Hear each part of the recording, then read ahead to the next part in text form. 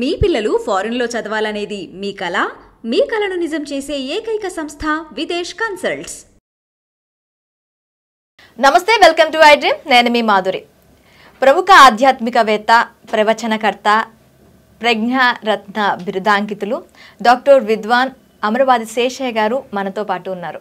ఈరోజు ఆయన్ని అడిగి ఆధ్యాత్మిక బాటలో ప్రగతిలో అమరవాది అనుభవాల గురించి తెలుసుకుందాం.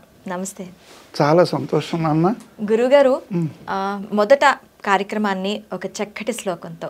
తప్పకుండా నాన్న. శ్రీల సొబగుగాంచు చెల్వారు ధరణిలో ఎవని కరుణ సిద్ధులెసగుచుండు అటిదే ఉదలచి హత్యంతునాత్మలో విఘ్నరాజు గొలువ విఘ్నమున్నే వాగర్ధావివ సంపృక్తౌ వాగర్ధ ప్రతిపతయే జగత పితరౌ వందే పార్వతీ పరమేశ్వరౌ. వెంకటాద్రి సంస్థానో బ్రహ్మాండే నాస్తి కించన వెంకటేశ సమో దేవో నభూతో నభవిష్యతి చాలా సంతోషం నాన్న. ఈ ఐ డ్రీమ్ ఛానల్ అంటేనే చాలా గొప్ప విశేషం దాగి ఉన్నది. ఐ అనేటువంటిది ఆత్మ చక్షు ఆత్మ కన్ను. డ్రీమ్ అనగానే అందులో ఉన్నటువంటి ఆలోచన తరంగాలు. కాబట్టి ఈనాడు ఇటువంటి గొప్పనైనటువంటి ఆత్మ చక్షు సంబంధమైనటువంటి ఆధ్యాత్మిక ప్రబోధంగా ఈ ఐ డ్రీమ్ ఛానల్ అద్భుతమైన సులోచన తరంగాలతో ఆత్మశిక్షువుగా ఉన్నదా అనిపిస్తున్నది ఈ సమయం. అమరవాదిగా ఆరహము ఉన్నటువంటి ఈ ఐ డ్రీమ్ ఛానల్ విశేషాల్లో ఈరోజు ఈ ఆధ్యాత్మిక అనుభవాల గురించి నన్ను మాధుర్యమైన భావనలో ఈ మాధురి అడగడమే తేనెలొలుకు మాధుర్యంగా ఉన్నది. చాలా సంతోషం నాన్న. అడుగు ప్రశ్నలు. గురుగారు అసలు ఆధ్యాత్మికత అలాగే మతం. మతం అంటే ఏంటి? అలా దానికి సంబంధించి ప్రతి మతానికి ఆధ్యాత్మిక భావన అనేది అలవడుతూ ఉంటుంది. ఒక ప్ర ఒక్కొక్క మతానికి ఒక్కొక్క విధంగా ఆధ్యాత్మికత అనేది అలవడుతూ ఉంటుంది. మరి ఈ మతం అంటే ఏంటి? ఆధ్యాత్మికత అంటే ఏంటి? తప్పకుండా నాన్న. మతము అంటేనే అభిప్రాయం అని అర్థం. అంటే ఎవరికి సంబంధించినటువంటిది ఆ మతాభిప్రాయమే దాన్ని మతము అంటాం. ఇప్పుడు ఉదాహరణకి హిందువుల యొక్క తత్వమైనటువంటి భారతీయ తత్వశాస్త్రంలో మనకు చెప్పబడిన విశేషాల్లో మనకంటూ ఒక మార్గ నిర్దేశకమైనటువంటి గురువులు ఏర్పడ్డారు. నాడు కృతయుగము మొదలు ఋషీశ్వరులు ఏ విధంగా వేద సంబంధమైన విద్య వేద అనగానే వేద అనేది తిప్పించేది దేవ ఉంటుంది. అందువల్ల అటువంటి వేద సంబంధమైన విషయాలకు నాడు కృత త్రేత ద్వాపర యుగాలు కలియుగాలకు సంబంధంగా యుగ ధర్మంలో నాడు ఋషులు మనకు అందించినటువంటి బాటల్లో నేడు ఈ కలియుగంలో మనకు మత గురువులు ఏర్పడ్డారు. గురువు అంటే ఏంటి అర్థం? గకారం అన్నటువంటి అజ్ఞానాన్ని తొలగగొట్టి రకారం అనే జ్ఞాన జ్యోతిని చూపేవాడు అర్థం. గురు బ్రహ్మ గురు విష్ణు గురుర్దేవో మహేశ్వర గురు సాక్షాత్ పరబ్రహ్మ తస్మై శ్రీ గురవే నమ అంటాం. అందువలన తల్లి మూడో నెలలో నాన్న ఇదిగోరా మీ నాన్నని తండ్రిని చూపిస్తుంది. తండ్రి ఐదో సంవత్సరంలో గురువుని చూపిస్తాడు విద్యాభ్యాసానికి మొదలైన బ్రహ్మచర్యాసనం. ఆ విధంగా గురువు దైవాన్ని చూపిస్తాడు. అందువల్ల అటువంటి గొప్పనైనటువంటి విధంగా మన మత సంబంధమైన విషయాల్లో మీరు అడిగిన ప్రశ్న చాలా గొప్పది నాన్న. నేడు మన హైందవ మత సంప్రదాయంగా భారతీయ తత్వశాస్త్రంలో మన హైందవ మత గురువులుగా క్రీస్తు శకము ఏడు వందల ఎనభై ఎనిమిదవ సంవత్సరం నుండి ఎనిమిది వందల ఇరవయో సంవత్సరం వరకు ముప్పై రెండు సంవత్సరాలు సాక్షాత్తు పరమేశ్వరుడే మనకు ఆది శంకరుడు అవతారంగా పుట్టాడు. శంకర అనగానే శుభమును చేకూర్చువాడు. అటువంటి శంకరాచార్యుల వారు హైందవ మతంలో కాలడిలో పుట్టారు. చివరికి కేదారినాథ్లో సమాధయ్యారు. ఈ ముప్పై రెండు సంవత్సరాల్లో తాను ఈ విధమైనటువంటి మత ఆచార్యుడుగా మన హైందవ మతాన్ని అద్వైత మతంగా ఏర్పరిచారు. నా ద్వైత ఎస్ఎస్ ఇది అద్వైతం. అంటే ద్వైతం అంటే రెండు. ద్వైతము కానిదంటే జీవుడు పరమాత్మ ఒకటే అన్నటువంటి భావ సిద్ధాంతంలో చెప్పబడిందే అద్వైత మతం దీనికి ఆది శంకరులు మనకు అందించినటువంటి బాటలో ఏర్పడినటువంటిదే మతం.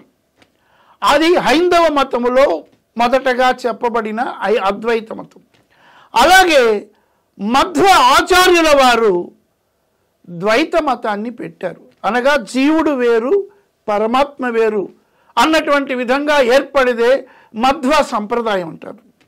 ఆ మధ్వ సంప్రదాయంలో వచ్చిన వారే రాఘవేంద్ర స్వామి మొదలైన వారు అలాగే విశిష్టాద్వైతం అన్నటువంటి సిద్ధాంతంలో వచ్చిన వారే పదకొండవ శతాబ్దంలో రామాంజుల వారు. ఆయనే సాక్షాత్తు రాముడికి అనుజుడు అంటే లక్ష్మణుడి యొక్క అంశగా చెప్తారు.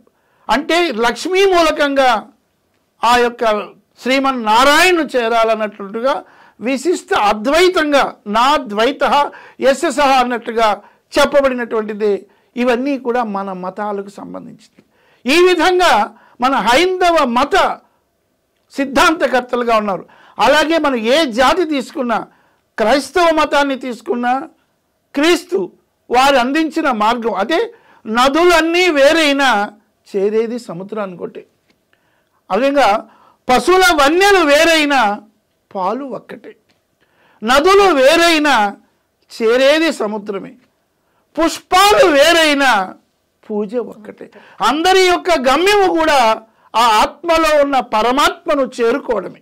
అందువలన ఏది ఏమైనా సరే మన హృదయ జ్యోతిలో ఆ ఆత్మజ్యోతిలోనే పరంజ్యోతిలో ఈ ఆత్మకు ఉన్నది కాబట్టి ఈ శరీరానికి చావు ఉన్నది కానీ ఆత్మకు చావు లేదనే సిద్ధాంతం చేత ఏ మతకర్తలైనా సరే ఇప్పుడు జరుగుతున్న ఆధ్యాత్మిక సమ్మేళనం ఖానా ఆశ్రమం ఉన్నది సహజ మార్గ రాజయోగ సిద్ధాంతం. అందులో జరిగేటువంటి ఈ నాలుగు రోజుల కార్యక్రమంలో అనుకోకుండా మనం ఈవేళ ఇలాంటి ఒక గొప్పనైన విషయాన్ని చర్చించుకోవడం జరుగుతుంది కాబట్టి అందులో నేను ముప్పై ఆరు సంవత్సరాలుగా ఈ ఆధ్యాత్మిక ప్రగతిలో సహజ మార్గ రాజయోగ సిద్ధాంతాన్ని నేను ప్రార్థన చేస్తున్నాను కాబట్టి ఆ విధంగా మీరు అడిగిన ప్రశ్న మతము యొక్క అభిప్రాయాన్ని చెప్పాను. దాని where religious ends there spiritual starts మతము ఎక్కడ అంతమైతే ఆధ్యాత్మికం అక్కడ ప్రారంభమవుతుంది ఏ విధంగా ఒక పాలును శుభ్రంగా కాచేటప్పుడు పాలల్లో ఉన్నటువంటి నీటి భాగం అంతా పోయి అసలైనటువంటి పాలు ఎలా మిగులుతాయో అలా మిగిలినటువంటిదే ఆత్మ సంబంధమైన జ్ఞాన భాగమే ఆధ్యాత్మికం.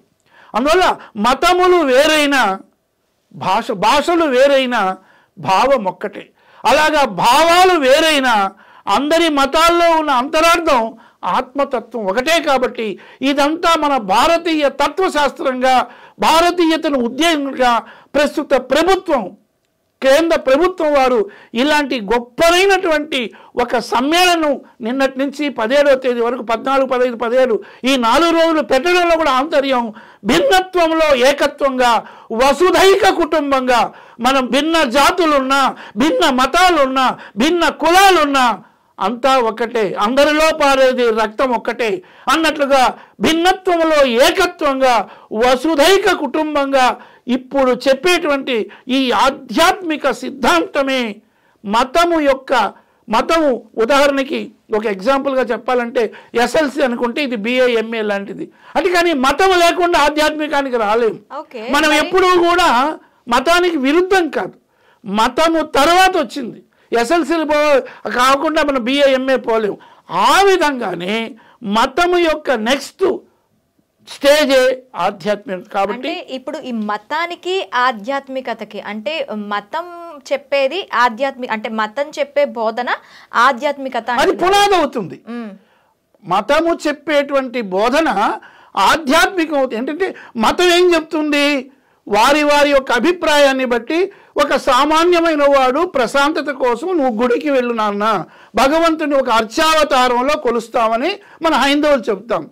ముస్లింలు ఏం చెప్తారు? వారి యొక్క దర్గాకి వెళ్ళి శుక్రవారాల పూట ఎప్పుడు అనుకుంటే అప్పుడు ప్రార్థన చేయమంటారు. యేసుక్రీస్తు కూడా వారి చర్చికి వెళ్ళి క్యాండిల్స్ వెలిగించి ప్రార్థన చేయమంటారు. అంటే వారు కూడా గురువు లేని విద్య గుడ్డి విద్య కాబట్టి ఒక గురువులుగా మనకు మత గురువులు ఏ విధంగా శంకరాచార్యులు వారు ఉన్నారో క్రైస్తవులకి వారి గురువు క్రిస్టియన్ ఉన్నారు క- క్రైస్తు. అలాగే ముస్లిమ్స్ కూడా వారి గురువు ఉన్నాడు. అంటే భిన్న మతముల వారి అభిప్రాయం ఒకటే. ఖురాన్లో చెప్పే భావం ఒకటే యేసుక్రీస్తు చెప్పేది ఒకటే మన హిందువు చెప్పేది ఒకటే. అన్నిటిలోనూ ఉన్నది ఆనందం ఒక్కటే. అదే సచ్చితానందం అదే పరమానందం. అది ఆధ్యాత్మికకు పునాది అవుతుంది. కాబట్టి ఆధ్యాత్మికం మతానికి వేరు కాదు. ఆధ్యాత్మికం అనేది మతము అనే మతం అనేది ఒక ఇంటికి ఫౌండేషన్ లాంటిది. ఈ ఫౌండేషన్ పైన కట్టబడినటువంటి మేళలాగా అందులో ఉన్నటువంటి నివసించే హృదయము అనేటువంటి దేవాలయములో నివసించినటువంటి నీ ఆత్మను ఈ మన ఏవ మనుష్యానాం కారణం బంధమోక్షం. ఈ మనస్సే కారణం. ఈ ఐహిక ఈయన ఆ ఆముష్మికానికైనా. అందువల్ల ఈ ఐకమైనటువంటి కామ క్రోధ లోభ మదమత్సరములని ఈ అరిషడ్ వర్గాల్లో మనం మనిషి కొట్టు మిట్టాడుతూ ఎప్పుడూ కూడా అన్ని రోజులు మనవి కాదు అందరూ మనవాళ్ళు కాదన్నట్లు సముద్రాన్ని అలలొదలవు మనిషిని కలతలొదన్నట్టు ఈ ఐకమైనటువంటి ఈ ఆశ అనేటువంటి పాశములో ఈ మాయలో తగులుకున్న మనము ఒరే పిచ్చివాడ నీలో ఉన్న ఆత్మను చూసుకోరా?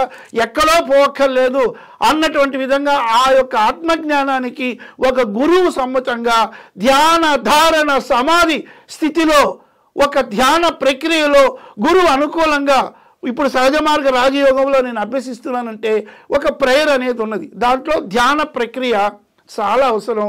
సాయంకాలం అయితే మనసు ఎక్కడెక్కడ విధాలుగా ఏ విధంగా ఒక షర్టు మనం మలినమైపోతే ఎలా ఉతుక్కుంటామో అలా మానసికమైన ఆందోళనతో మలినమైనటువంటి మనసుకి సాయంకాలం అయితే క్లీనింగ్ రూపంగా ఒకటి ఈ యొక్క సహజ మార్గ సిద్ధాంతంలో ఉంది సహజ అంటేనే బై నేచర్ ఇట్ సెల్ఫ్ జా అంటే పుట్టుట.